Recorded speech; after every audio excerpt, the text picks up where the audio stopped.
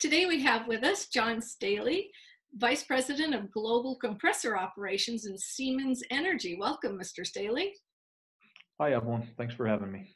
Well, I'm so glad you're here. I was just wondering if you could tell us a little bit about Siemens. Sure. Siemens is, is a big company, one of the biggest companies in the world. Uh, they're headquartered in Germany, and they've got 350,000 employees, and and uh, they they sell 100 billion euros worth of equipment every year. Uh, so it's it's a huge company, one of the biggest companies in the world, and and we're part of their power generation and oil and gas division here in Olean. Um, it all wasn't always Siemens here, wasn't it? Dresser-Rand before. That's that's correct. There's a this it's a long long history here, um, and uh, where I'm sitting today uh, was established in 1912 uh, by a couple of brothers called the Clark brothers, who moved their operations here to this very site in Olean from their prior facility in Belmont, which is just a little bit east of here, after it apparently had burned down. So they they they built the facility here, and it was uh, known as the Clark Brothers. Um, and then over uh, many years to this point in time, the ownership of the company has evolved. It was purchased by uh, Dresser Industries and became known as Dresser Clark, and, and then there was a joint venture with a competitor called Ingersoll Rand, and we became known as Dresser-Rand. And then in 2015, we were purchased by Siemens. Now you're talking about oil and gas. I don't think about that here, but why why Olean then, with oil? Good question. Uh, when people think oil and gas, they they think of Texas and Middle East, Saudi Arabia, and uh, you don't think of Olean. And uh, and and today that's absolutely true. Uh, but back in the beginnings, the the origins of the oil and gas industry, believe it or not, was right here in this part of the world. So, uh, the very first oil well was drilled in Titusville, Pennsylvania, not very far from here. Uh, Fredonia, New York, became the first city in the world to to have their streets lit with natural gas fired street lamps. Oh, wow. uh, and uh, because of that, because of the oil and gas industry being born here, a lot of uh, different companies were established to support that industry because it became almost like a gold rush back in uh, the mid 1800s.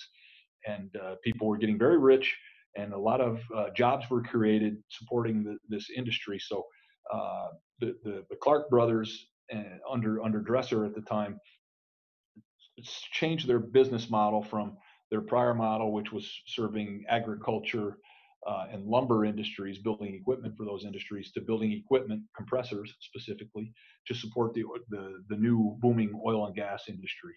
Uh, so so that's why uh, it it was established here in Olean, and and uh, you know, luckily for us, we've been here ever since.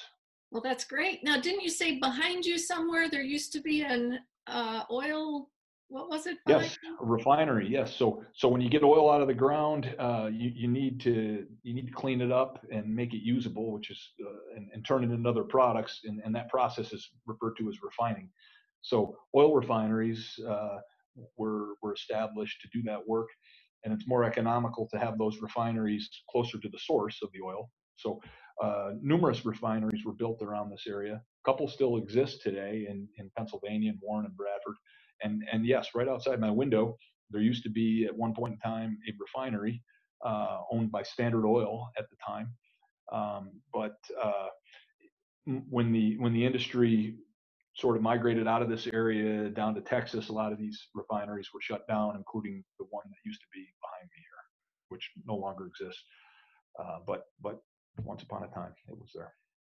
Well, now we, we've talked about the present and the past. What about the future? Well, uh, we're still the largest employer in in in the southern tier here in the Cattaraugus County, uh, so we still employ a lot of people. Um, we we employ a whole variety of different people, but the the vast majority of the people working here are engineers.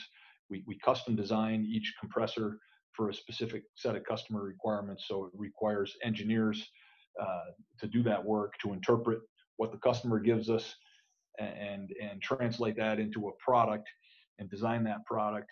And one of the unique things about us here in Olean is not only do we design the product, but we actually build it here. So, so a great thing for an engineer is you can actually see your your design become reality. So, uh, engineers create the design, and, and then we buy the materials and we machine those materials here, and we end up uh, assembling and testing the compressor just outside here in, in our factory.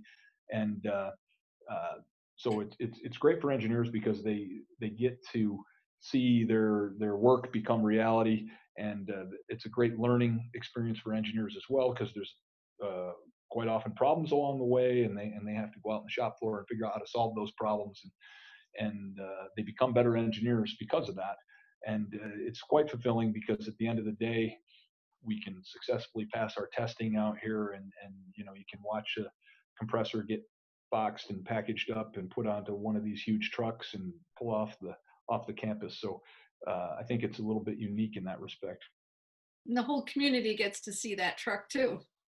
Huge trucks, yes,